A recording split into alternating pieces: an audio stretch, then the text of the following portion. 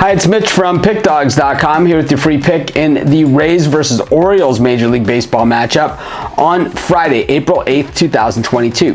Here on YouTube, I do tons of free pick videos, so be sure to subscribe to our channel. Of course, while you're doing your picks today, making your bets and your parlays and your player prop bets, be sure to check out our free betting tools over our websites, sportschatplace.com and pickdawgz.com. We've got the best betting tools on the planet. They are 100% free, um, and I'll put them up against any paid betting tools out there. SportsChatPlace.com has favorites, underdogs, totals, um, player props, much, much more. At PickDawgz, most of the tools there, a lot of the same things, but geared towards the underdog. That's the difference. We've got links in the description to both of them, so check them out. But let's get to this one between the Rays and the Orioles. Good old American League East battle, and I wish I could say a good old American League East rivalry or something like that, but we have two teams that have been on the opposite ends of the spectrum when it comes to uh, winning and losing. The Orioles just seem to, uh, you know, once proud organization, an organization that once had, you know, multiple Cy Young Award winners, you know, across the board.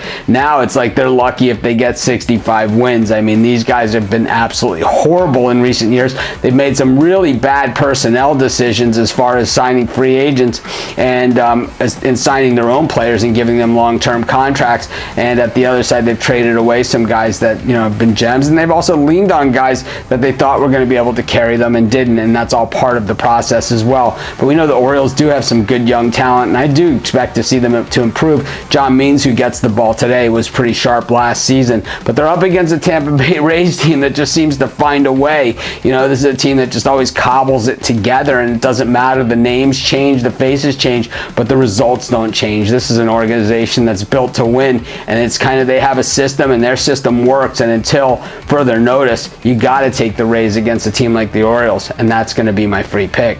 Of course, uh, while you're if you're looking for my best bets, the games I'm most confident in, or if you're looking for best bets from some of the top handicappers in the world, head on over to our website, pickdawgz.com, click on the Premium Picks tab.